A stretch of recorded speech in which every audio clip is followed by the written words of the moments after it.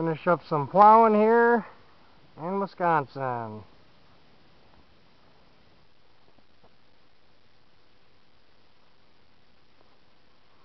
With the old 660.